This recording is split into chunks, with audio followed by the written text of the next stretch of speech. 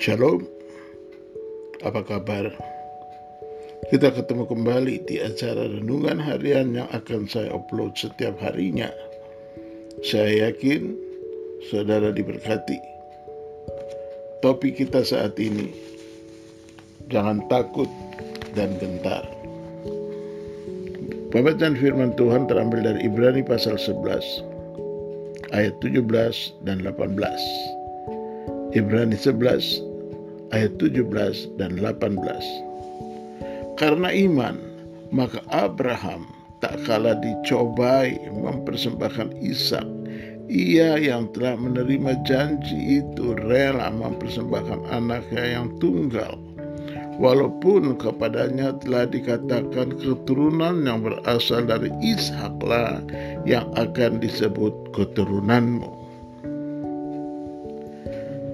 Jangan takut dan gentar menghadapi apa pun, karena Tuhan sudah menyelesaikannya bagi kita. Ketika Abraham mendengar perintah untuk membawa anak tunggalnya Ishak untuk menjadi korban dikorbankan di Bukit Moria, Abraham melangkah tanpa takut, tanpa satu pertanyaan apa pun. Bisakah kita bayangkan perasaan dan gejolak hati Abraham. 25 tahun lamanya bukan waktu yang singkat. Abraham menunggu janji Tuhan akan lahirnya Ishak, anak yang dijanjikan Tuhan. Sekarang, setelah Ishak tumbuh sebagai remaja, generasi penerus biji mata Abraham Tuhan memintanya untuk dijadikan korban. Apakah tidak ada cara yang lain dari Tuhan? Pasti seandainya kita adalah Abraham, maka keluarlah protes demi protes sebagai air bah mengalir dari mulut kita dan akhirnya kekecewaan panjang terjadi dari mulut kita. Tetapi tidak demikian halnya dengan Abraham. Tidak ada satupun patah kata yang keluar dari mulut Abraham. Mulut Abraham terkunci rapat-rapat karena iman yang kokoh tidak tergoyangkan oleh apa pun. Abraham melangkah tanpa satu pertanyaan pun, apalagi keluhan dan protes kepada Tuhan yang sangat dihormatinya. Itulah sebabnya tidak heran jika kitab Ibrani mencatat bahwa Abraham adalah pahlawan iman.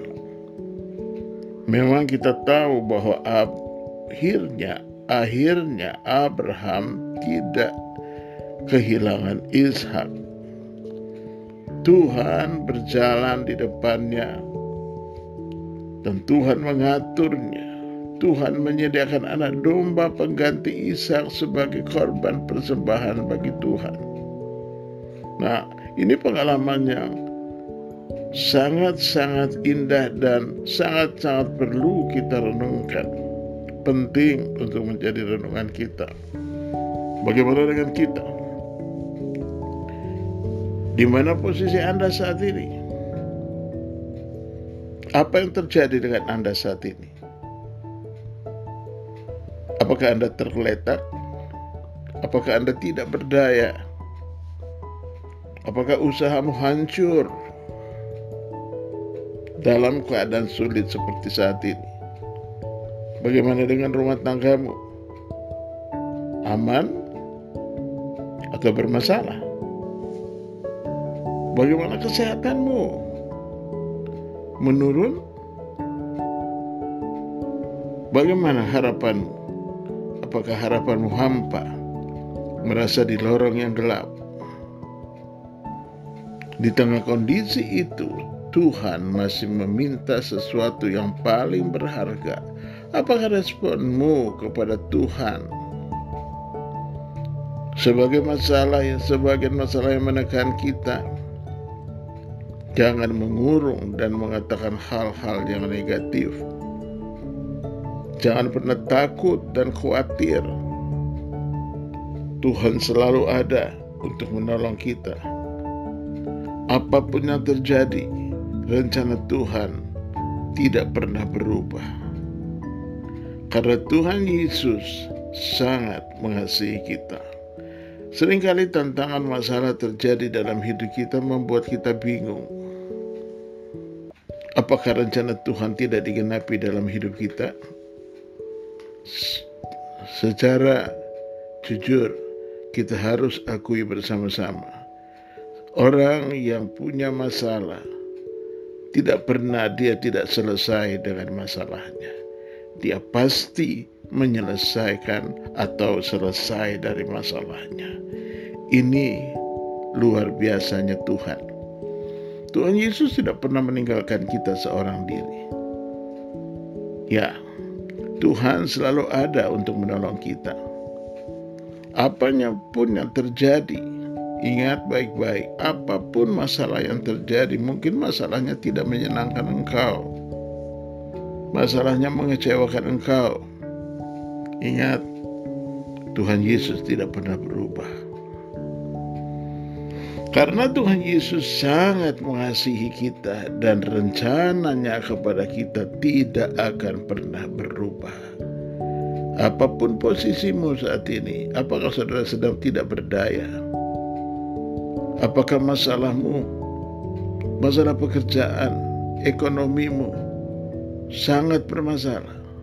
Ingat, hari ini terjadi, tapi masih ada hari esok. Hari esok masih ada harapan. Berharap kepada Tuhan Yesus adalah pengharapan yang tidak sia-sia. Saya mau berdoa untuk saudara. Kalau saudara sedang mengalami tantangan masalah sakit penyakit, ataupun saudara sedang mengalami tantangan masalah rumah tangga, juga saudara sedang menghadapi masalah ekonomi atau masalah pekerjaan, saya percaya Tuhan tidak pernah meninggalkan engkau. Saya berdoa Tuhan aku berdoa bagi anak-anakmu. Mereka yang sedang mengalami hal-hal yang tidak berdaya. Tuhan tolong mereka. Apakah masalah ekonomi mereka? Tuhan tolong buka jalan bagi mereka. Apakah masalah pekerjaan mereka? Tuhan tolong buka jalan bagi mereka. Apakah masalah rumah tangga? Tuhan, Engkau mempersatukan dan Engkau membuat masalah itu dapat selesai seketika. Tuhan engkaulah jawaban kami dan jawaban yang tidak pernah tidak menjawab kami. Jawaban yang sangat sempurna adalah jawaban dari Tuhan. Hamba mengucap syukur, hamba alaskan doa ucapan syukur ini hanya di dalam nama Yesus Kristus Tuhan yang berjanji mintalah di dalam namaku hamba berdoa. Amin.